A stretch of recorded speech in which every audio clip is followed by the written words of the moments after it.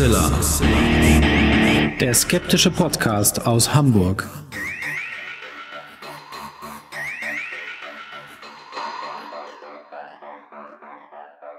Hallo und herzlich willkommen zum 270. Mal bei Huxilla, dem skeptischen Podcast aus Hamburg.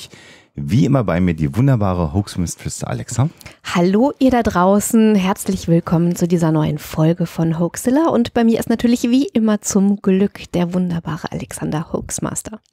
Und man hat schon gelesen, gibt es denn nur noch Wildbike Specials und irgendwie werden wir so ein bisschen müde, äh, darüber zu reden. Nein, es gibt zwei Folgen Huxilla jeden Monat und es gibt dann Immer noch. eine wahllose Anzahl von Specials, die wir noch aufarbeiten und tatsächlich bekommen wir sehr, sehr viele Zuschriften und aus all dem, was wir in den letzten Monaten an Zuschriften bekommen haben, äh, haben wir den Schluss gezogen, dass es Sinn macht, die Specials und die normalen Folgen in einer Podcast-Feed-Datei zu belassen, das nicht zu trennen. Und äh, das Schöne an Podcasts ist ja, dass man auch Folgen überspringen kann. Und auf den Monat äh, Februar blickend können wir jetzt schon mal ein bisschen vorab teasern, weil die Aussage war, ihr macht nur noch eine Folge, wo ihr beide was macht und dann ist immer ein Gast dabei. Im Februar ist das auch nicht so. Da haben wir nämlich zwei Folgen, wo nur wir dabei sind. Und dann gibt es wieder Leute, die sagen, ladet doch mal mehr Gäste ein. Also ihr merkt schon, ähm, vielen Dank für euer Feedback. Wir lesen das alles, was ihr uns immer mal wieder schickt. und dann machen wir doch das, was wir wollen. Ja, ich glaube, wir können am besten das machen, was wir wollen und versuchen dann, dass ihr euch immer wieder das rauspicken könnt, was euch begeistert. Weil ist ja nicht nur zeitsouverän, sondern auch selektiv unter Umständen, wenn man das schon. will. Theoretisch schon. Aber ich kenne das. Ich bin ja auch so einer, wenn ich mal was anfange zu hören, muss ich ja von der ersten Folge anfangen. Mhm. Ich bin ja auch so ein jemand, der das dann komplett haben muss. Äh, wir verquasseln uns schon wieder, ne? Nee, nee, ich könnte jetzt noch Stunden, ich könnte auch sagen, was für YouTube-Channels, äh, wie wir das da machen, ob selektiv oder alles, Ja, von A bis Z. Das machen wir oder von vorne anders. nach hinten oder von hinten nach vorne. das Format heißt Podcasting. Ne? Man könnte theoretisch. Wir machen jetzt einfach mal weiter.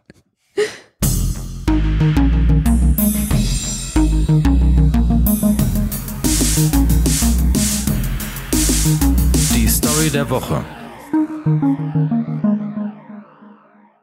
In vergangenen Zeiten, als Flugreisen für Privatpersonen noch etwas Besonderes waren und äh, sozusagen die, die Flugreisen eine junge Disziplin waren, gab es verschiedene Ideen, wie man so Werbestrategien entwickeln konnte, äh, um den Leuten auch zu zeigen, dass Fliegen sicher ist und dass man ganz normale Urlaubsreisen auch mit dem Flugzeug machen kann.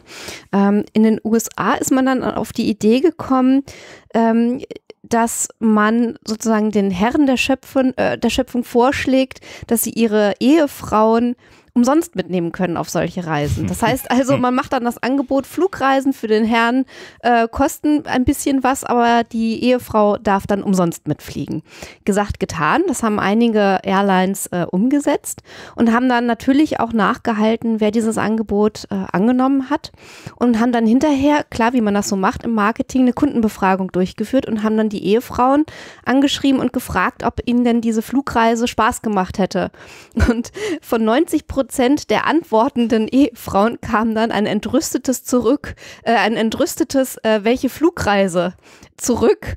Und äh, leider legte diese Antwort, diese Unkenntnis der, des Angebots äh, nahe, dass die Herren äh, der Schöpfung nicht unbedingt ihre Ehefrauen mitgenommen haben, sondern äh, andere Frauen. Wenn die Geschichte denn stimmen Wenn die sollte. Geschichte denn stimmt. Sie wirkt zumindest schon mal sehr plausibel. Und wer sich an diese Zeit der Flugreisen erinnern möchte, es gibt ja bei den öffentlich-rechtlichen äh, Sendern inzwischen so ein historisches Archiv, was man in den Mediatheken finden kann. Ja. Und ja. da haben wir uns vor einiger Zeit, man hat ja dann irgendwann im Lockdown manchmal auch ein bisschen mehr Zeit als sonst, haben wir uns mal alte Beiträge zum Hamburger Flughafen in dem Fall mal angeschaut, die sowohl von der, vom Reportagestil als auch vom Inhalt her einfach sehr speziell Absurd, sind. ja. ja, also vielleicht guckt ihr euch das mal an, diese Zeit der Flugreisen, wobei ja auch aktuell zumindest im Jahr 2021 im Frühjahr Flugreisen jetzt auch was Besonderes wieder sind. etwas, etwas ja, das stimmt. Besonderes sind, ja. Ja gut, also wir finden mal raus am Ende der Sendung, ob das der Fall ist. Ich habe noch eine schöne andere Anekdote, die ich dann bei der Auflösung nochmal äh, erzählen kann.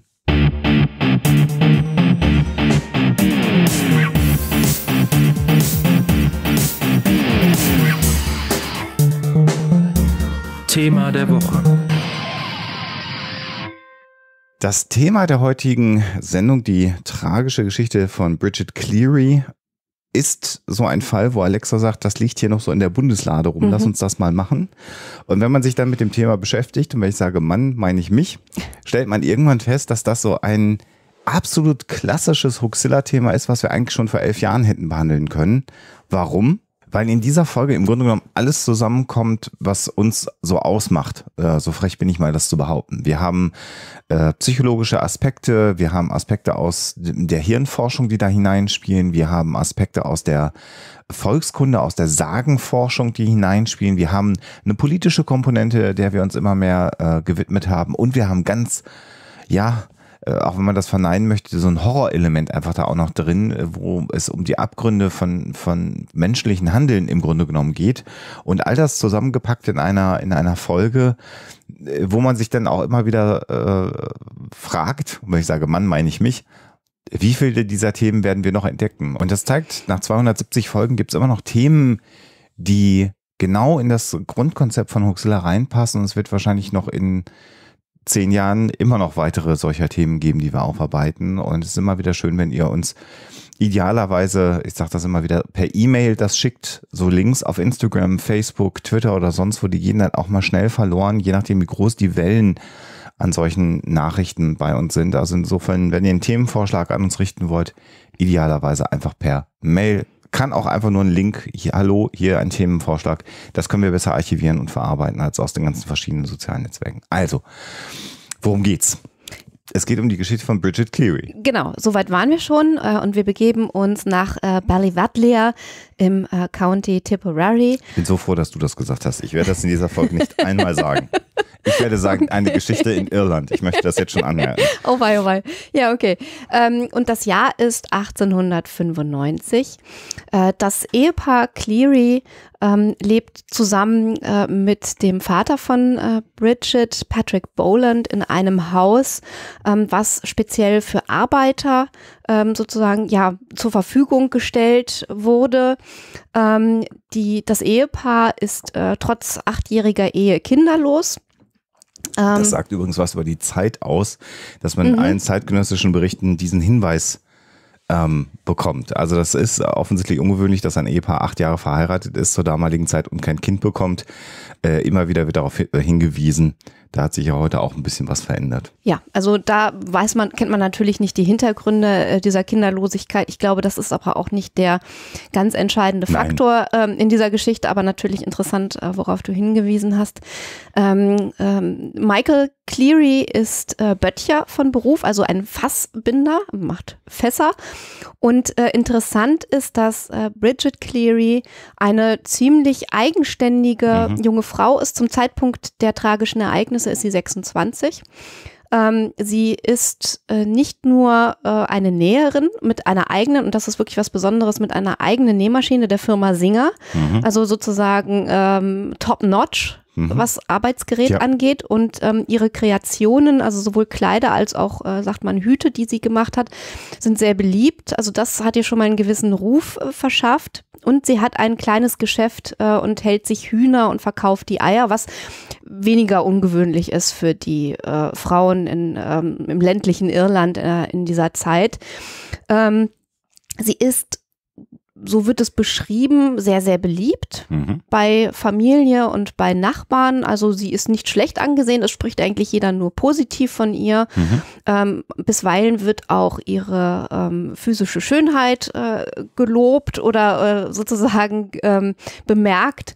Also sie war eine gut aussehende äh, junge Frau, selbstbewusst, Geschäftstüchtig. geschäftstüchtig. Ähm, und ähm, es gab auch eine Zeit in der Ehe, äh, in der die beiden gar nicht zusammen äh, gewohnt haben, weil Michael Cleary anderswo sozusagen gearbeitet hat und ähm, nach der Hochzeit ist äh, Bridget dann erstmal wieder zu den Eltern zurückgezogen.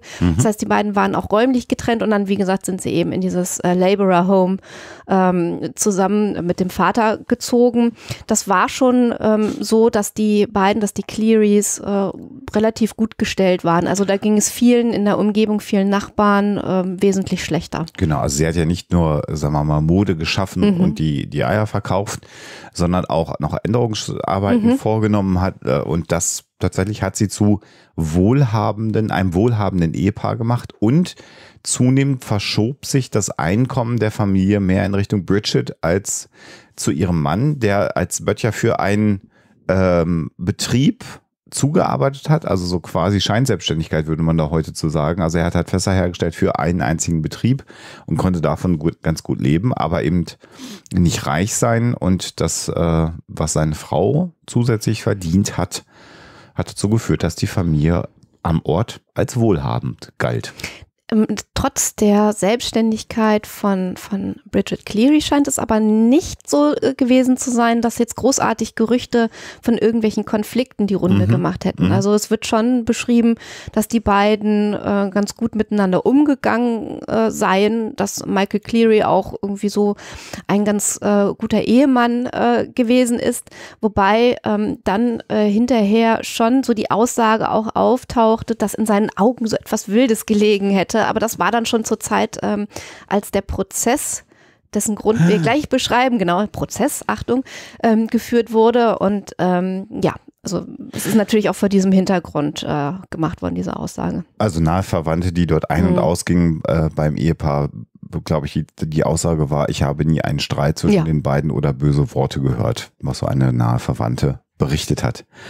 Wir kommen jetzt zu einem Ereignis dann im Jahr 1895, ähm, wo Bridget krank wurde. Hier ist es nicht ganz klar, äh, woran sie erkrankt ist. Also es wird berichtet, dass sie, nachdem sie mal wieder Eier verkauft hat, an den Eiermann. Genau, und da, dazu muss man vielleicht auch noch ergänzen, dass das auch äh, durchaus üblich war, dass so ein Eiermann äh, von den Frauen der Umgebung äh, sozusagen die Eier alle eingesammelt mhm. hat und dann äh, sozusagen weiter verfrachtet hat. Und dazu mussten die Frauen, die so ein bisschen weiter ab vom Schuss wohnten, zur Hauptstraße pilgern. Mhm. Und das äh, hat äh, Bridget Cleary getan. Und äh, das Ganze ähm, hat noch zu tun mit, ähm, da kommen wir jetzt schon wieder in den Bereich des Aberglaubens, mhm. mit einer ähm, lokalen Gegebenheit dort, ähm, weil das Ganze nämlich sich abgespielt hat in der, Re in der Nähe von sogenannten Ferry Rings oder einem Ferry Fort. Ähm, und das war im Prinzip nichts anderes als ein Ringwall, den man als archäologische Stätte sozusagen, ich würde jetzt sagen früh bis Hochmittelalter, also sagt man so 500 bis 1000 ungefähr, ähm, äh, sozusagen sichtbar war in der Landschaft und von den, ähm, wir befinden uns hier in einer katholischen Gemeinde, von den Menschen dort auf dem Land als ja ein Platz der Feen betrachtet wurde. Also vielleicht sogar, wenn der Aberglaube sich sehr festgesetzt hatte, als eine Art Portal, wo also die Feen mhm. umgehen und eventuell auch ein Portal in die Feenwelt existiert. Also Eiermann haben wir jetzt gerade ja. erklärt, klingt ein bisschen lustig, aber also tatsächlich in meiner Jugend, wenn ich da nochmal draus erzählen darf, gab es auch einen Eiermann, da war es aber umgedreht. Wir haben tatsächlich unsere Eier immer von einem Lieferanten ja. bekommen, der einmal äh, im Monat, glaube ich, bei uns vorbeikam. Der hatte dann immer so eine Palette mit Hühnereiern und der hat uns dann immer angefahren. Ähm, das weiß ich auch noch. Äh, genau. Aber ich, ich, I digress. Ähm, interessant fand ich diesen Feenring. Mhm. Den habe ich immer vor Augen als im Grunde genommen wo Pilze mhm. im Kreis wachsen. Gibt ja durchaus auch diesen Aberglauben. Aber hier tatsächlich, wie du schon gesagt hast, eine archäologische Gegebenheit. Das heißt also nicht, was per Zufall ungewöhnlich in der Natur ist, sondern etwas, was quasi seit Gründung der Siedlung vorhanden war. Und mhm. trotzdem war man davon ausgegangen, hier handelt es sich um einen magischen Ort. Das kann man ja nochmal einmal ist unterstreichen. Ja auch, also wenn ich mir das vorstelle, so ein Ringwall, äh, der wirklich so als, als ringförmiger Erdhügel äh, in der Landschaft erkennbar ist, das ist ja auch was Besonderes. Das ja. ist ja eine markante Stätte, ja. auf jeden Fall. Ja, und sie kam dann eben also zurück, weil sie auf den Eiermann gewartet hatte. Wetter war wohl nicht ganz so gut. Und es ist tatsächlich etwas unklar, was jetzt entweder an den Überlieferungen liegt oder aber auch an der Tatsache, dass die damalige Medizin äh, nicht so ist, wie sie denn heute dann auch ist. Ob sie am Ende an einer Bronchitis äh, dann erkrankte, eventuell sogar eine Lungenentzündung hatte oder sogar unter Umständen an Typhus litt. Also das ist nicht ganz klar. Da, je nachdem, wo man äh, liest und wo man hinschaut, wird darüber spekuliert. Es ist aber auch im Grunde genommen wurscht, kann man erstmal sagen, was es war. Was also Fakt ist, ist, dass Bridget Cleary erkrankte. Also ein Husten ist äh, definitiv überliefert. Ja, genau. Also irgendwas mit der Lunge mhm, auf jeden Fall. Mhm. Genau. Und ähm, man machte sich auch Sorgen und ähm, man versuchte dann auch eben den äh, Arzt am Ort zu bekommen, der dann auch nicht sofort kam. Auch da gibt es so unterschiedliche Darstellungen, woran das gelegen haben mag. Äh, und es ist sogar im späteren Verlauf so weit gekommen, dass wohl auch ein Priester gerufen wurde und man hat, weil das Fieber wohl hoch war, zur Sicherheit schon mal ähm, die letzte Ölung ihr gegeben, einfach aus Vorsichtsgründen, weil erzkatholisch, man wollte nicht riskieren, dass jemand verstirbt, ohne dass er sie erhalten hat. Ähm, wobei das auch gar nicht so heißt, das haben wir auch schon mal gelernt, dass die letzte Ölung gar nicht letzte Ölung heißt, sondern ähm, anders heißt. Das könnt ihr gerne mal unter die Sendung kommentieren. Ich weiß, dass es einen anderen Begriff dafür gibt, der deutlich eleganter ist. Letzte Ölung wird gar nicht mehr benutzt. Ähm, Sterbesakrament, glaube ich, sagt man. Wurscht. Also sie war krank und das ist natürlich etwas, was eine Familiensituation belastet, natürlich, völlig klar. Vielleicht sollten wir noch, ähm, was den Arzt angeht, erwähnen, dass der sozusagen eine Medizin dargelassen ja. hat. Es war ja, also wir haben da schon in anderen Sendungen und auch in den Ferngesprächen drüber äh, gesprochen, dass die Medizin zu der Zeit wenig mehr war als ein Mittel, von dem man mehr oder weniger dachte, es hilft, verabreichen und dann auf den natürlichen Fortgang der äh, Krankheit warten, die entweder einen guten Verlauf nimmt oder einen schlechten. Äh, auf jeden Fall war der Arzt, so heißt es, nicht besonders besorgt. Also er hat gesagt, sie hat Husten, meinetwegen Bronchitis, ich lasse das Mittel da, das soll sie immer nehmen. Ja. Und ansonsten äh, wird es ihr in ein paar Tagen mit ein bisschen Ruhe wieder gut gehen. Das war so ähm, der Tenor. Ja, das stimmt. Ja, und dann begann in Michael Cleary ein Zweifel äh, aufzukeimen, nämlich der Zweifel, ob es sich überhaupt noch um seine Ehefrau handelt die da bei ihm im Bett liegt und krank ist. Und er kam dann irgendwann zu dem Schluss, offensichtlich, so wird es dann auch in den äh, Unterlagen der Gerichtsverhandlung später berichtet, dass es sich bei seiner Frau, die jetzt krank bei ihm im Bett lag, um ein Wechselbalg gehandelt hat. Genau. Äh, in dieser ganzen ähm, Geschichte mit den Fairies und dem äh, Changeling, also äh, der, die Geschichte mit dem Wechselbalg, spielte wohl ein Nachbar, John Dunn, äh, noch mhm. eine Rolle, der ein, ein, ich muss das nachgucken, äh, wie es, sich sozusagen aussprechen lässt, ein, ein Sanity äh, oder Shanichi gewesen ist. Ähm, das heißt also jemand, der im Prinzip die Volksweisheiten tradiert. Also jemand, der mündliches Wissen bewahrt und weitergibt mhm. und äh, jemand, der sich auch mit äh, den, äh, mit allem, was mit Feen äh, zu tun hat, wohl sehr, sehr gut auskannte und der hat eben äh, diese Wechselbalg-Geschichte noch mehr aufs Tableau äh, gebracht, als Michael Cleary eventuell eh schon auf dem Schirm hatte. Ja.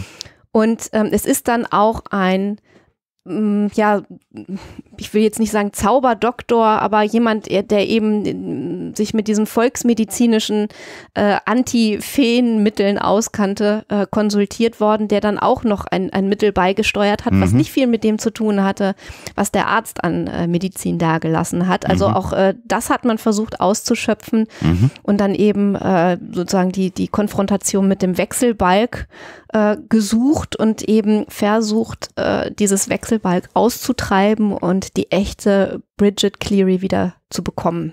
Ich glaube, hier wäre jetzt mal der Punkt, Alexa, dass du äh, unseren Hörerinnen und Hörerinnen, äh, Hörenden, mein Gott, unseren Hörerinnen und Hörern oder unseren Hörenden, so wollte ich es gesagt haben, mal erklärst, was ein Wechselbalg eigentlich genau ist mhm. und warum man da was austreiben muss und was das eventuell mit diesem Fairy-Kreis zu tun hat. Also im Volksglauben ähm, ist ein Wechselbalg eine ausgetauschte Person. Sehr, sehr oft bezieht sich äh, dieser Aberglaube oder beziehen sich die Sagen in dem Zusammenhang auf kleine Kinder.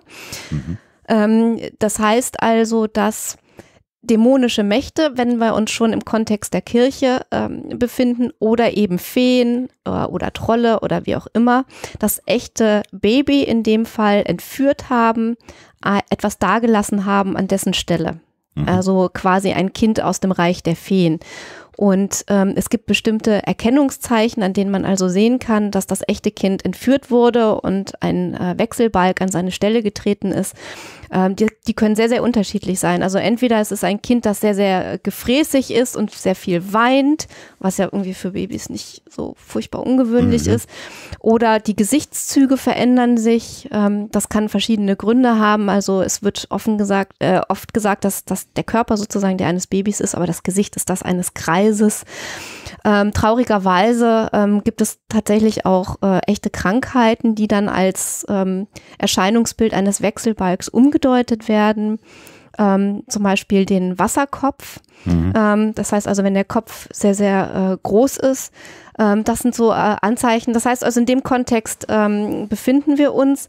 Es gibt auch ähm, ab und zu mal Fälle, in denen angeblich Erwachsene entführt und ausgetauscht wurden. So einen Fall haben wir hier in Irland, gab es den Aberglauben, dass anstelle dieser entführten Person ein Stück Holz dagelassen wird und dieses Stück Holz nimmt dann die, äh, das Erscheinungsbild der entführten Person an. Und hier häufiger Frauen als Männer, Ja. glaube ich, ausgewechselt Ja, und werden. Ne? äh, ganz, ganz oft ist es äh, so, dass es gerade Frauen sind, die sich in einer verletzlichen Phase befinden, also junge Mütter oder junge Bräute. Gut, das war jetzt bei Bridget Cleary beides nicht der Fall. Die waren ja schon eine Weile verheiratet und sie ist auch nicht gerade Mutter geworden. Äh, aber junge Frauen waren ähm, sicherlich äh, öfter sozusagen in Gefahr ausgetauscht und entführt zu werden als äh, Männer. Und dann war die Konsequenz, dass die echte Person äh, ins Feenreich Mhm. entführt wurde und es gab gewisse Regeln, äh, unter denen man die Person zurückbekommen konnte. Ja.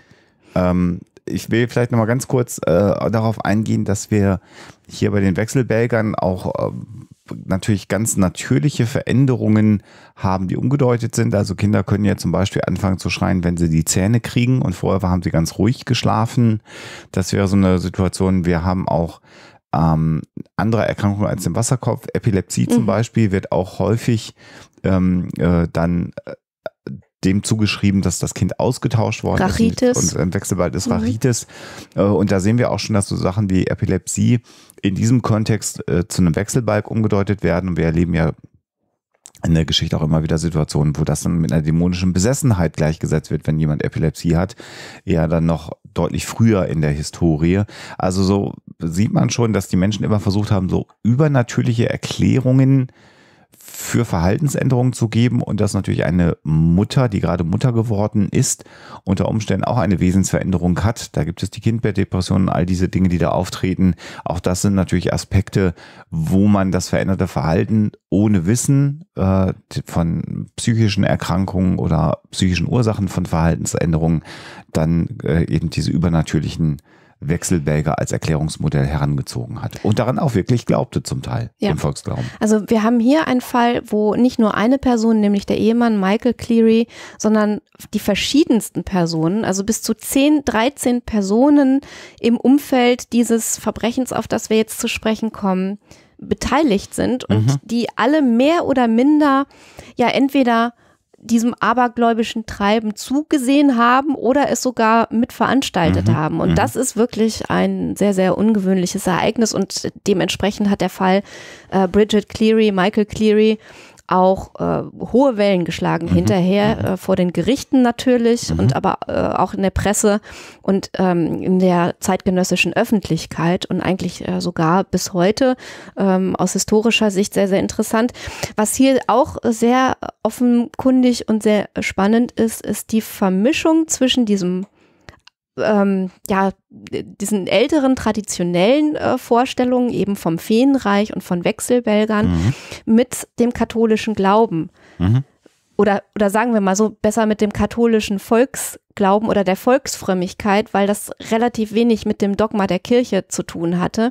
Und auch der Priester zum Beispiel, der äh, da die Sterbesakramente ähm, gegeben hat, ähm, ja, entweder vorgegeben hat oder so getan hat, er wisse von nix, was da in dem Haus Cleary äh, vor sich geht oder ähm, es geduldet hat oder wie auch immer, aber auf jeden Fall hat er sich nicht aktiv beteiligt. Also es ist nicht so, dass die Kirche gesagt hätte, wir müssen jetzt irgendwie was gegen die Feen unternehmen, überhaupt gar nicht, sondern das waren die Verwandten und äh, Bekannten von den Clearys. Der Priester hat hinterher zum Protokoll gegeben, dass er ja mehrfach mit Bridget Cleary auch gesprochen hat und dass er sie immer bei, ich glaube, die Formulierung ist, wenn man so aufs Deutsche übersetzt, gesunden mhm. Verstand, hellen Geiste erlebt klarem hat. Klarem Geiste. Oder klarem Geiste und ihm niemals äh, von Misshandlungen oder schlimmen Dingen berichtet hat. So wird der äh, Priester dann hinterher zitiert, den man auch gehört hat im Gerichtsverfahren.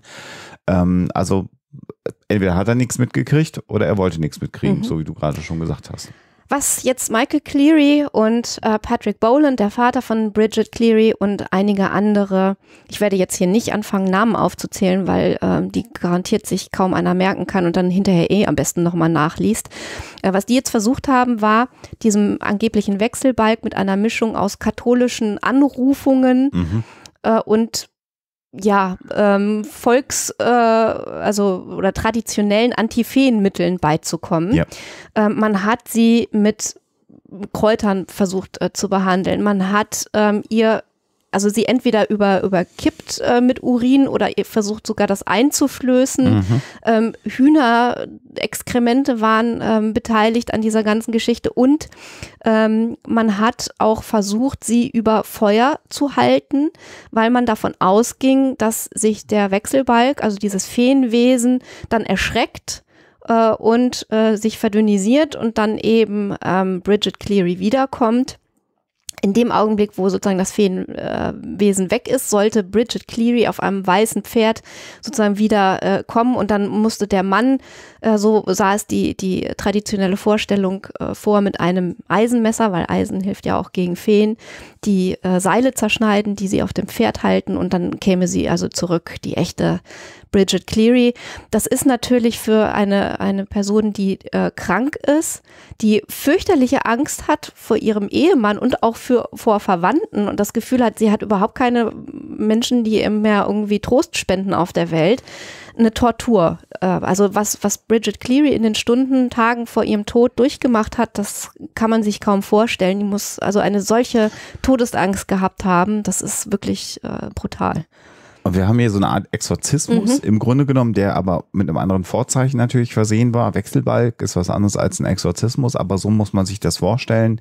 Es werden dann hinterher in dem Gerichtsverfahren äh, wird beschrieben, wie sie von vier Männern festgehalten wird an den Extremitäten, dann eben ihr Kräutertinkturen, Urintinkturen eingeflößt, auf den äh, Körper gekippt werden, wie du gesagt hast. Man hat sie auf das äh, Ofenfeuer in, in, in der Wohnstube gesetzt ähm, und wir halten nochmal fest, dass die Verwandten der Priester, die sie ja besucht haben, keine Besonderheiten festgestellt hat. Die war halt an einem Infekt der Atemwege in irgendeiner Art und Weise erkrankt. Die hat gehustet und hatte Fieber und der ging es nicht gut.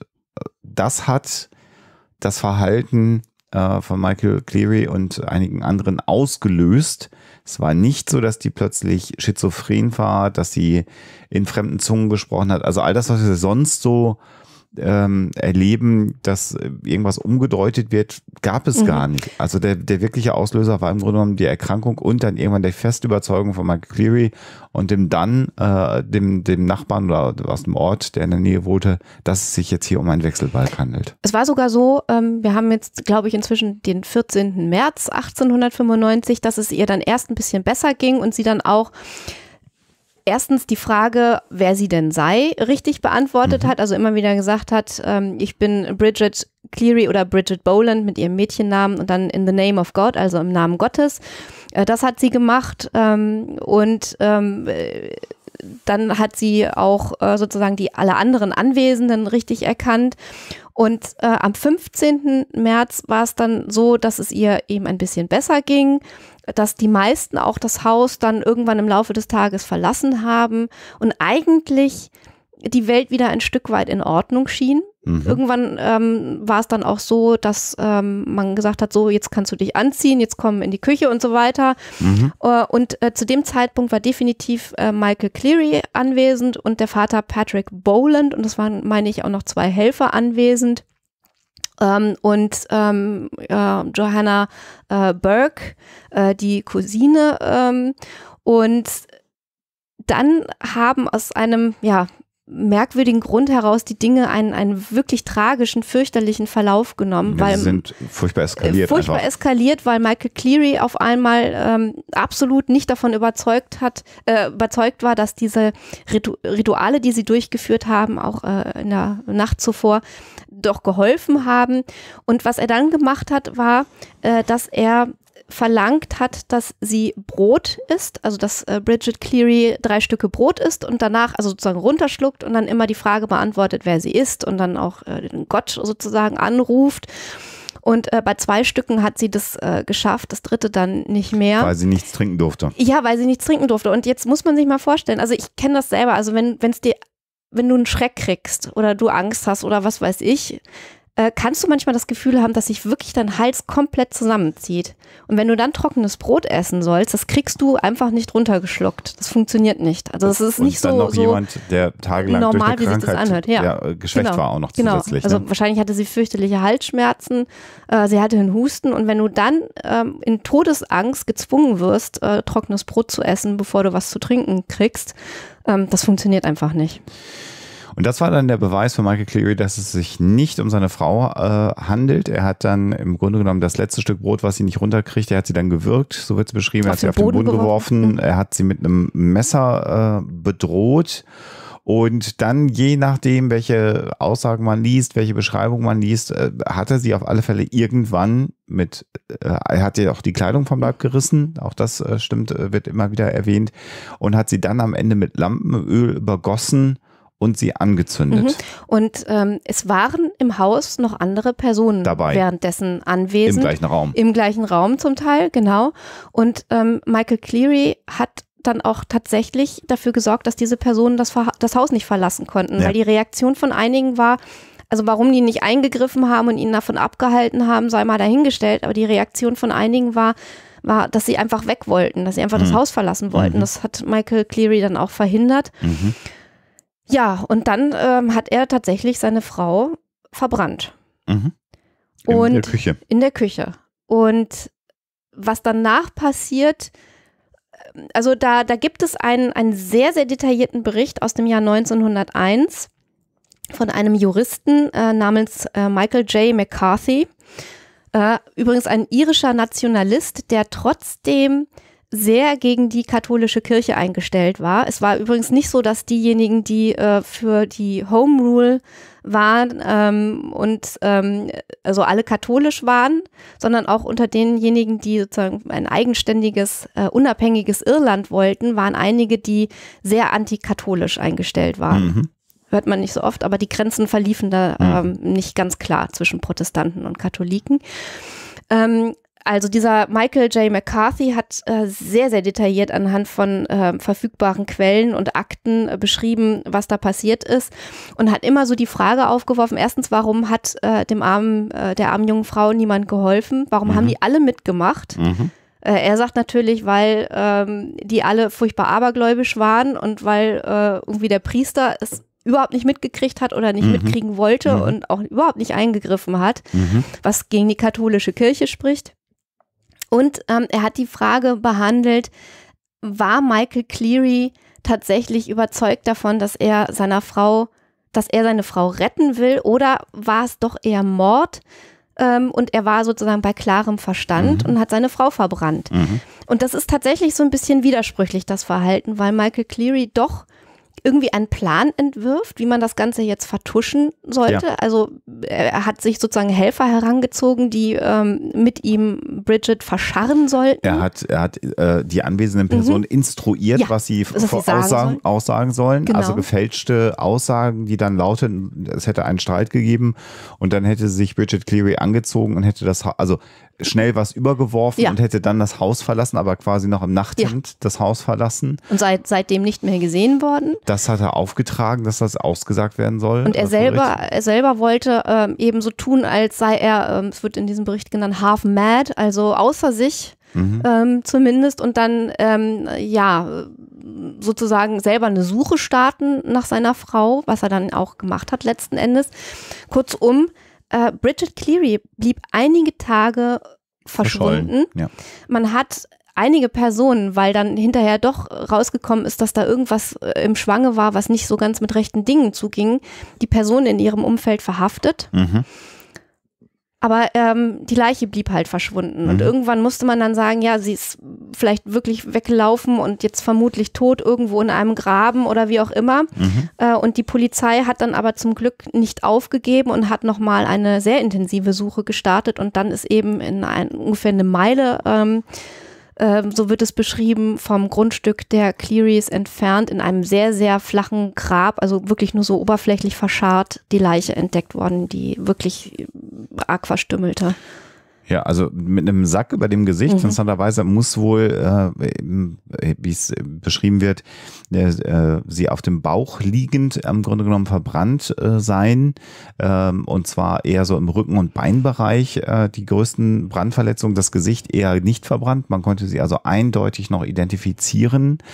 Und was natürlich passiert, wenn jemand verbrennt, ist, dass sich die ähm, ja, Extremitäten nach oben ziehen und auch der Rücken, weil die Muskeln zusammenschmelzen und äh, also da findet eine Veränderung statt. Das heißt, die Beine waren gebogen ähm, und man konnte aber ihr Gesicht äh, äh, sehr gut identifizieren, hat das dann auch tatsächlich im Rahmen der dann folgenden Gerichtsverhandlungen getan. Also man hat dann auch äh, den, äh, dem Gericht äh, ich weiß gar nicht, es wird, eine Delegation beschrieben. Ich weiß nicht, ob das so eine Art Schöffengericht ist. Das äh, habe ich jetzt äh, in der Recherche nicht Mhm. rausgefunden. Es haben also aber mehrere Personen eben die Leiche von Die Bridget, Jury. die Jury, ja, Mhm. dann waren es die Mhm. Schöffen, mhm. äh, sich äh, angeschaut und haben also gesehen, wie das Ausmaß war. Und es Also ist Würgemale, Verletzungen, genau, ähm, genau. Verbrennungen. Und es ist nicht ganz klar, ob sie noch bei Bewusstsein war, während sie äh, verbrannte oder nicht, aber sie ist definitiv an der Verbrennung dann am Ende verstorben. Und es wurden dann, du hast es gerade schon beschrieben, sehr viele Menschen zunächst mal angeklagt. Genau, also ähm, im Prinzip hat man äh, die ganze Gruppe äh, verhaftet, äh, einige dann hinterher wieder gehen lassen. Äh, zum Beispiel der, ähm, ich meine, er hieß Gary, also derjenige, der diese Zaubermedizin ähm, äh, also bereitgestellt hat, der ähm, wurde dann tatsächlich nicht angeklagt. Andere wiederum wurden äh, durchaus verurteilt, äh, zum Teil wegen Totschlags, also John Dunn äh, zum Beispiel. Ja, Moment, der ist nicht wegen Totschlag verurteilt worden, sondern der ist wegen äh, Körperverletzung verurteilt worden. Ach, Entschuldigung, ja natürlich, Wounding, genau, Genau, also äh, wegen sieben- Körperverletzung. Sieben, Danke. sieben, sieben der Personen, die angeklagt wurden, wurden wegen äh, Körperverletzung angeklagt. Mhm. Äh, ähm, und äh, Totschlag ist insofern Genau. in deinem Kopf drin gewesen, weil das nämlich das ist, was Michael Ja. Cleary dann bekommen hat. Ne? Ja, und äh, das ist natürlich auch ähm, ein, ein wichtiger Punkt. Also man hat äh, ihm offenbar nicht nachweisen können, dass es wirklich äh, Cold-Blooded Murder, also wirklich Mord gewesen ist, Mhm. ähm, der geplant war. Also seine Absicht, ähm, das hat das Gericht wohl anerkannt, war es nicht, seine Frau Bri- Bridget Cleary umzubringen, sondern man hat gesagt, okay, es war Totschlag und ähm, dieser, dieser Aberglaube, der dahinter steckte, dass sie also ein Wechselbalg angeblich gewesen sei, das hat man irgendwie zumindest im Urteil berücksichtigt. Genau. Und verurteilt wurde, also er wurde dann äh, zu 20 Jahren äh, ähm, Zuchthaus erstmal verurteilt, äh, ist dann nach 15 Jahren freigekommen und ist dann relativ schnell nach Kanada ausgewandert, Michael Cleary. Interessant ist, dass die vier Brüder ihrer Cousine Er Johanna, war, glaube ich, 35 zum Zeitpunkt des äh, Gerichtsverfahrens. Mhm. Mhm. dass äh, die vier Brüder von äh, Johanna äh, verurteilt worden sind. Der Vater Mhm. Von äh, Bridget ist verurteilt worden und auch eben der Nachbar John Dunn.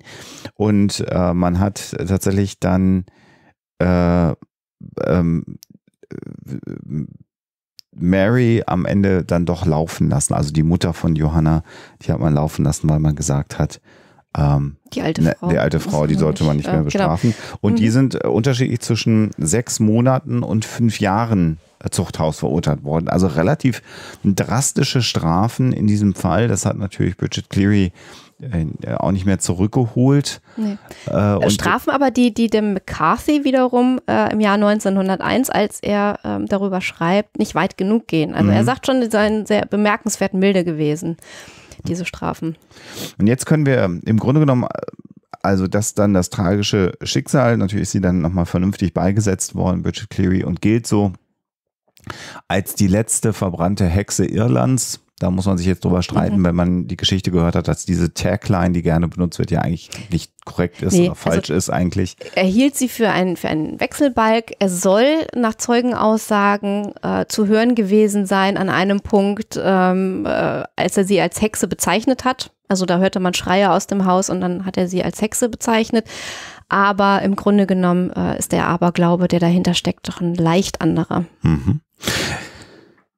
Dieser Fall hat aber auch politische Konsequenzen gehabt und zwar relativ harsche, denn äh, wir befinden uns ja in einer Zeit, in der Irland eigentlich unabhängig werden wollte oder es Bestrebungen gab vom äh, äh, United Kingdom ähm, sich loszusagen. Und äh, dieser Fall, dieses Ereignis ist genutzt worden für Propaganda, weil man gesagt hat, naja, guck mal, was da passiert in Irland. Zum Teil wurde der Begriff Hottentotten benutzt, Mhm. ein ganz, ganz äh, Unschön, ja. äh, abwertender Ja. Begriff natürlich. Und das war eine der Argumente dafür, dass man Irland auf keinen Fall äh, dem Home Rule, also der Unabhängigkeit übergeben konnte, sondern dass hier äh, natürlich Großbritannien äh, und äh, eingreifen Mhm. muss und weiter steuern muss. Also die, die Stimmen äh, besagten im Prinzip, dass Irland nur dann sich positiv weiterentwickeln kann und ähm, erblühen kann, wenn man diesen alten Aberglauben ablegt. Äh, christliche Werte auf jeden Fall. Ob man dann wie McCarthy sich äh, trotzdem gegen die katholische Kirche wendet oder den Katholizismus für die geeignetere ähm, Religion hält, äh, sei dahingestellt. Auf jeden Fall musste aus Sicht dieser kritischen Stimmen der alte Aberglaube über Bord geworfen werden. Und es ist ja nun tatsächlich nicht zu leugnen, dass wir hier eine Gruppe von Menschen haben, die vor dem Hintergrund des Aberglaubens, und ich höre jetzt schon die Stimmen im Hinterkopf, die sagen, äh, ja, aber Exorzismus in der katholischen Kirche, ja, stimmt, aber wir reden hier tatsächlich ähm, über einen speziellen Fall von außerkirchlichem Aberglauben Mhm. Ähm, die äh, sozusagen diesen Aberglauben als Hintergrund äh, genutzt haben, um einen Menschen zu foltern und letzten Endes zu töten. Und dass man das natürlich sehr kritisch bewerten muss, steht für mich zumindest außer Frage. Und ähm, da Vielleicht auch noch mal ganz kurz zu dem Moment, äh, weil du das ansprichst. Ich habe äh, kürzlich noch mal in einem Gespräch erfahren, was ich sehr, sehr spannend fand, dass es nach wie vor ja eine Ausbildung zum Exorzisten gibt innerhalb der katholischen Kirche, was ja zunächst mal auch befremdet. Die Aussage ist hier aber, es ist gut, wenn immer in der Nähe quasi sich ein katholischer Exorzist befindet, den man dann kontaktieren und anrufen kann, wenn man auf die Idee kommt, dass da jemand vorstellt, als wenn das jemand feldweise und wiesenmäßig macht. Ja. Denn diese Formen von Austreibungen, sei es jetzt hier Wechselbalgaustreibung oder dämonische Austreibung, die solche Schäden verursachen, sind ja nicht mehr die Regel. Und ein modern ausgebildeter Exorzist der katholischen Kirche würde jetzt auch erstmal zunächst anders eventuell vorgehen und natürlich auch eine, im Rahmen seiner Ausbildung auch psychische Faktoren gelernt haben, die es zu berücksichtigen gilt. Äh, Das heißt, das ist schon fast sowas wie auch ein Schutzmechanismus. Besser wäre es, man käme ganz ohne aus, bin ich völlig dabei. Aber auch das muss man mal sagen, dass gerade hier auch in Deutschland, es gibt Exorzisten in Deutschland, die sind aber auch dafür da, dass wenn jemand ganz aus dem Ruder läuft, da Menschen auch wieder eingefangen werden. gibt können. übrigens auch eine Hoaxilla-Folge zum Thema Exorzismus. Das müsst ihr jetzt aber selber nachgucken, welche Nummer das ist. Die habe ich auch gar nicht im Kopf. Genau. Ist ja auch wurscht. Aber es gibt sie auf jeden Fall für alle, die sagen, aber, aber Exorzismus. Da gibt es Ähm, ganz schlimme Fälle. Genau, da gibt's, ja, das möchten wir auch nicht irgendwie beschönigen. Genau. Ähm, wo waren wir stehen geblieben? Genau, und es ist immer so die Frage, wie man äh, ein kulturelles Erbe bewertet. Äh, dass der Feenglaube und ähm, die kulturellen und auch erzählforscherischen ähm, Stoffe, die damit äh, zusammenhängen, bis heute bewahrt werden, ist sicherlich äh, hoch zu achten.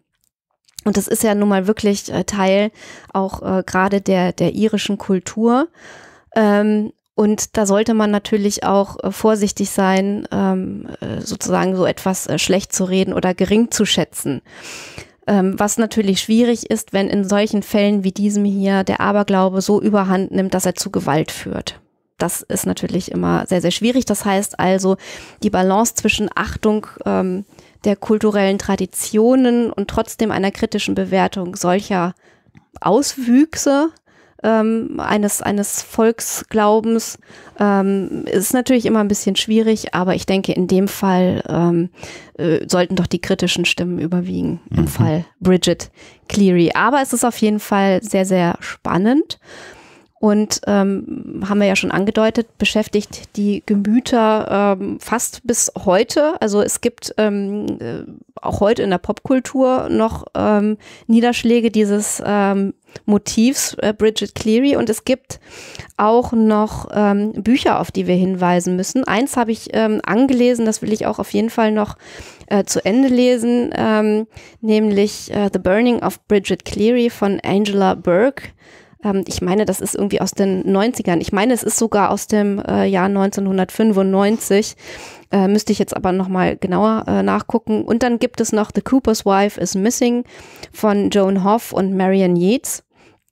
Äh, das ist ähm, äh, ähm, genau, ach so, beide sind äh, von 2000, genau, okay. Ähm, das heißt also, das sind Bücher, die man auf jeden Fall in dem Zusammenhang empfehlen sollte. Und dann äh, gibt es natürlich noch in der Popkultur äh, einen Niederschlag, den vielleicht äh, irische Kinder bis heute kennen, nämlich äh, den Reim äh, Are you a witch or are you a fairy or are you the wife of Michael Clary? Also Das, das äh, sagt man eventuell bis heute. beim Springseilspringen Genau. oder bei solchen Spielen wird es diesen Spruch geben. Ähm, es, es gibt noch einen weiteren Aspekt, der ähm, durch äh, die Serie Law auf äh, Amazon Prime, kann man die unter anderem gucken, ähm, hinzugekommen ist. Ähm, da wird die Geschichte von Bridget Cleary in den Kontext des Capgras-Syndroms ähm, gestellt. Was ist das Capgras-Syndrom? Ist eine extrem seltene Form von ja, Schizophrenie vielleicht, so könnte man es formulieren. Das ist tatsächlich das Erkrankungsbild, dass Menschen plötzlich davon ausgehen, dass ihnen ganz, ganz nahestehende Menschen ausgetauscht worden sind durch Doppelgänger, die genauso aussehen, aber sie sind eben nicht mehr die Menschen. Das geht so weit äh, bis zu Ehepartnern, die ausgetauscht worden sind. Und in der Serie Law beginnt das im Grunde genommen mit einem ganz modernen Fall, wo ein äh, junger Ehemann beim Joggen seine Ehefrau umbringt, weil er der festen Auffassung ist, dass sie ausgetauscht worden ist und dann äh, schlitzt er ihr ähm, die Kehle auf, äh, weil er dann aber auch den Wechselbalg möglichst mild töten möchte. Ähm, ob jetzt tatsächlich äh, das Capgras-Syndrom bei Michael Cleary eine Rolle gespielt hat, kann man natürlich nicht mehr beantworten. Ähm, benannt übrigens nach Joseph Capgras, einem Franzosen, äh, der das äh, äh, entdeckt und beschrieben hat. Interessant ist hier einfach nur der Effekt, ähm, dass man früher geglaubt hat, dass Menschen, die am Capgras-Syndrom leiden, generell Menschen nicht mehr erkennen können. Also dass da der Mechanismus im Gehirn geschädigt ist, der dazu dient, dass wir Muster erkennen, dass wir Menschen zuordnen können. Und, und äh, hier ist es eher so der Fall, dass das noch sehr gut funktioniert, weil sonst würden sie ja gar nicht erkennen, dass der Doppelgänger so aussieht ähm, wie der Ehepartner zum Beispiel. Es gibt aber, und das sind so weitere neuere Studien, äh, die es dann gegeben hat, wohl zwei Mechanismen. Es gibt zum einen die reine Mustererkennung, die uns sagt, gegenüber sieht aus wie. Und dann gibt es nochmal so etwas wie eine emo- emotionale Repräsentation des Menschen in uns drin, im Cortex.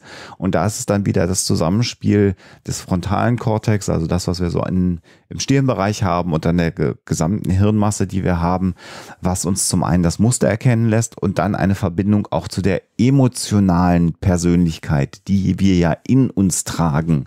Also wir haben ja Menschen mit ihren Persönlichkeiten in uns gespeichert, so wie wir sie kennen, so wie wir sie wahrnehmen. Und das sind natürlich nur Repräsentanzen. Das sind ja nicht die echten ähm, äh, Menschen, ich glaube, die wir da ganz sehen. viele kennen so den Spruch, ja, kenne ich gar nicht wieder. Ge äh, genau, wenn, weil sich wenn das Leute dann sich plötzlich anders verhalten. sich mal verändert haben Mhm. und die emotionale Repräsentanz, die wir dann haben, ähm, nicht mehr zu dem passt, was das Gegenüber erzählt. Und das ist ein Mechanismus, der hier gestört ist. Das ist extrem selten, deswegen natürlich auch wiederum nicht so gut erforscht. Ähm, das Capgras-Syndrom, wir werden euch das mal verlinken, zwei Artikel dazu. Da ist der englischsprachige Artikel deutlich ausführlicher als der deutschsprachige Artikel in äh, der Wikipedia zum Beispiel. Und es gibt verschiedene Erklärungsmodelle äh, und bei fast allen liegt eine schizophrene äh, Grunderkrankung vor. Und dann gibt es aber auch sehr deutliche Hinweise darauf, dass es organische Schäden tatsächlich dann auch gibt, ähm, die also die Vernetzung im Gehirn, sage ich mal, ähm, bestätigt haben, die zum Capgras-Syndrom und damit dann verbunden später auch zu schizophrenen äh, ähm, Symptomen führen. Es ist jetzt für mich etwas, was so auf dem Papier, so wie das bei der Serie Lore gemacht wurde, das Verhalten von Michael Cleary sehr gut beschreibt im Grunde genommen, weil er sagt ja, das war nicht mehr meine Frau, obwohl sie genauso aussah. Wobei er hinterher trotzdem gesagt hat, ich wollte das nicht, ne? also nach Protokollen. Ja, hm. Ähm, hm. und was eben nicht dazu passt, ist, dass er überhaupt gar nicht als verhaltensauffällig beschrieben worden ist. Ähm, also gerade auch bei einem Gerichtsurteil mit, mit Familie und Nachbarn, wenn das jemand gewesen wäre, der grundsätzlich schon an einer schizophrenen Erkrankung ähm, gelitten hätte. Wir haben ja so ein wenig in die Gerichtsakten auch hineingelesen, das, was man so, so im Netz erstmal schnell bekommen konnte. Ich habe da jetzt keinen Hinweis darauf gelesen, dass er auch nur im Ansatz als psychisch erkrankt beschrieben wird. Insofern wäre das Capgras-Syndrom ein mögliches Erklärungsmuster und wie gesagt, in der Fernsehserie und in dem Podcast Law ist das so der Schluss, der gezogen wird. Da wäre ich äh, eher vorsichtig und sage eher, das könnte gut passen aber es wäre auch nur ein Erklärungsmodell dessen, was passt. Deswegen, ich will nur kurz sagen, dass man mhm. jetzt nicht auf den Gedanken kommt, dass diese Wechselbalg-Geschichte immer daraus entsteht, dass Menschen am Capgras-Syndrom gelitten mhm. haben, sondern dass Dazu sind die Fälle auch, also sagen wir mal so, die, die dazu überlieferten Sagen äh, und Vorstellungen ja. zu tief verwurzelt, dann äh, müsste das viel, viel häufiger vorgekommen sein, wenn alle Fälle darauf zurückgehen. Exakt. Ich glaube, viel entscheidender ist hier eine Veränderung ja. der Persönlichkeit durch andere Gründe, wir haben es ja jetzt äh, vorhin schon mal gesagt, also bei Schwangeren, die dann Kind bekommen, äh, die Wochenbettdepression zum Beispiel eine drastische Persönlichkeitsveränderung ist. Warum freut die sich denn nicht, dass die mein Kind bekommt? Also das sind so Dinge, ähm, äh, die da vielleicht eher reinspielen als das Capgras-Syndrom. Will das nur einfach einmal antexten, weil es gibt sehr, sehr viele sehr abgefahrene äh, psychische Erkrankungen oder Phänomene. Wir haben ja selber vor ganz kurzer Zeit darüber auch eine Folge gemacht über das Gedächtnis und auch das Capgras-Syndrom ist hochspannend. Ich würde es aber tatsächlich aus meiner Sicht heraus nicht als Erklärungsmuster für die Ereignisse rund um Bridget Cleary heranziehen. Nee, zumal du ja auch damit dann nicht erklären könntest, warum das so weite Kreise gezogen ja. hast, äh, hat äh, und äh, sozusagen durch den großen Bekannten- und Verwandtenkreis äh, der Clearys wurde. noch äh, getragen wurde. Ähm, da spielen sicherlich äh, ja, traditionelle ähm, vor, ja, Feenvorstellung irgendwie die größere ja. Rolle und äh, der Aberglaube, der dahinter steckt.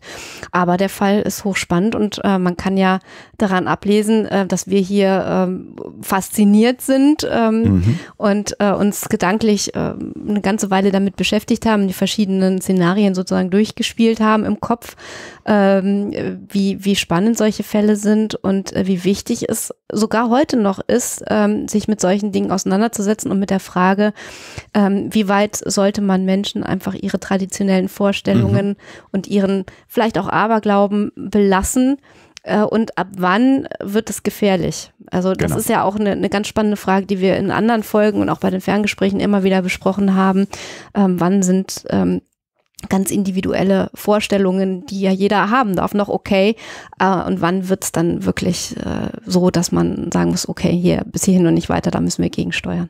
Deswegen ist ja eine Welt ohne Aberglaube mhm. eigentlich für mich persönlich die bessere Welt und damit ja. wäre dann auch eine Welt ohne äh, Dämonenbeherrschung und Exorzismen gut. Aber wenn es dann immerhin Menschen mhm. gibt, die dann heutzutage nicht mehr mit Urin oder anderen Dingen äh, anderen Menschen äh, Folter äh, zukommen lassen, die unter Umständen an einer psychischen Erkrankung leiden, weil sie das von der katholischen Kirche gelernt haben und so eine Art Wellenbrecher für diese abergläubischen Strukturen sind, ist das schon mal auch mhm. immer noch besser, weil wir noch genug Menschen unter Umständen haben, die an sowas glauben. Also so und, bitte ich das auch zu verstehen. Genau. Besser ist, wir haben irgendwann gar keine Exorzisten mehr, weil wir wissen, warum Menschen manchmal anders sind. Genau, und so meine ganz äh, persönliche Wahrnehmung ist halt, dass ich solche Geschichten also nicht die von Bridget Cleary, aber Feengeschichten überhaupt, äh, alles was mit Sagen äh, und Sagenwesen äh, zu tun hat und Märchen natürlich wunderbar finde und äh, ich bin sehr, sehr froh, dass es äh, Volkserzählungen gibt in der Form und äh, Überlieferungen.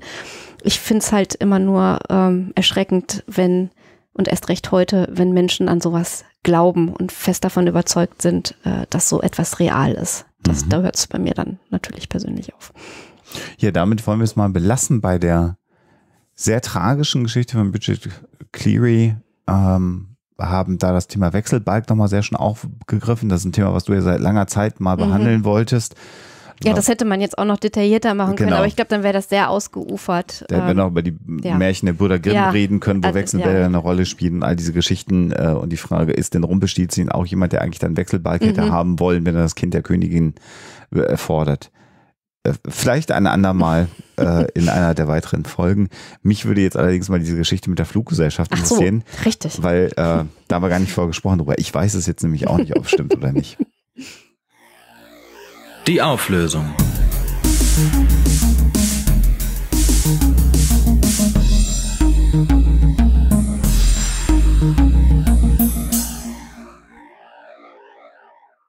Ja, die äh, Geschichte von der Fluggesellschaft, die Ehefrauen umsonst äh, mitfliegen lässt und dann hinterher nachfragt, ob äh, sie auch dieses Angebot wahrgenommen haben und die Frauen dann zu 90 Prozent bei der Befragung sagen, welche Flugreise, ähm, ist eine Urban Legend. Hm. Also es ist, tut mir ja fast leid, das sagen zu müssen, aber es ist so ein, so ein Klassiker, der äh, schon bei Harold Brunwand äh, besprochen wird.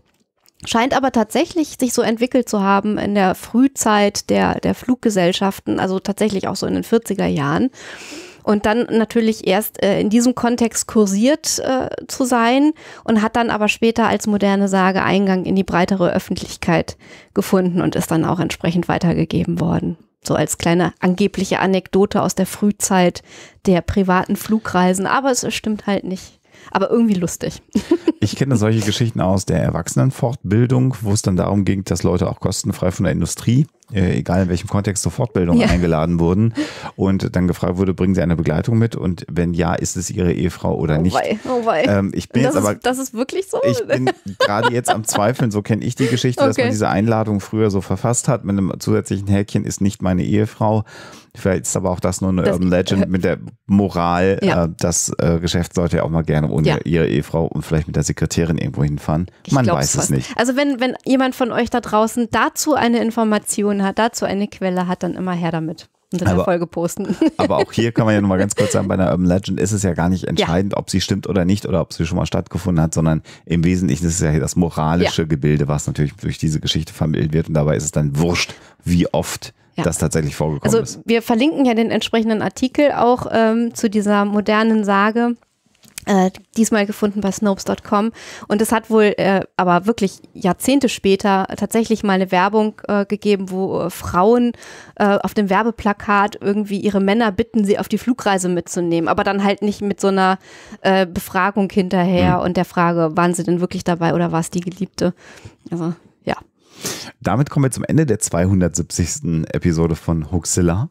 Ähm, hier noch der Hinweis für all diejenigen, die uns auf YouTube hören. Ihr werdet ja auch immer eine größere Gemeinde. Das freut uns sehr, wenn ihr euch immer wundert, was sind diese Ferngespräche, über die beiden äh, immer reden, diese Wild Mikes Specials.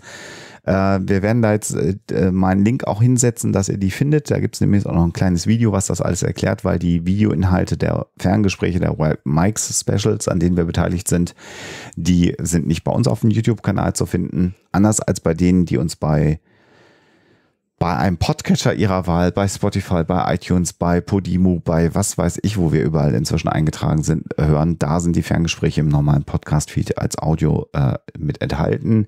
Wir wollen uns auch heute wieder am Ende dieser Episode bedanken bei all denjenigen, die uns ähm, unterstützen, bei Patreon, die uns einen Dauerauftrag eingerichtet haben, über PayPal, die uns Sachen von der Wishlist klicken. Das freut uns alles ganz, ganz doll. ein Und ganz, ganz herzliches Dankeschön an euch da draußen. genau, furchtbar sehr, dass ihr das alles tut.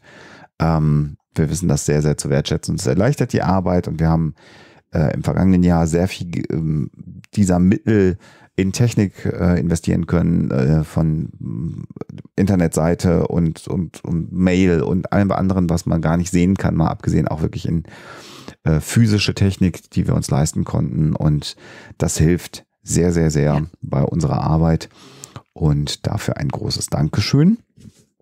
Und ihr macht vor allen Dingen möglich, dass diejenigen, die das nicht irgendwie unterstützen können, die auch äh, unsere Inhalte hören können. Das ist ein schönes Gefühl. Ja. So, jetzt sind wir am Ende. Mhm. bleibt bitte gesund und natürlich immer schön skeptisch bleiben. Tschüss. Der Huxella Podcast ist kostenfrei und wird das auch immer bleiben. Damit das gelingt, könnt ihr uns bei der Produktion unterstützen, so wie das schon viele, viele andere tun. Vielen Dank dafür. Das geht ganz einfach durch einen kleinen Dauerauftrag auf unser Geschäftskonto oder zum Beispiel über PayPal. Wie das genau funktioniert, findet ihr auf unserer Homepage unter dem Punkt Unterstützen.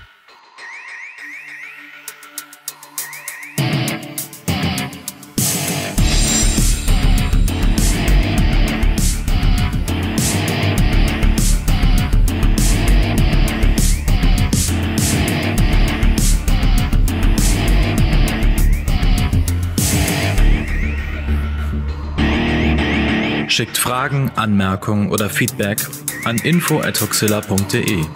Und wenn ihr mögt, dann bewertet uns doch bei iTunes oder einer der anderen Podcast-Seiten, die uns führen.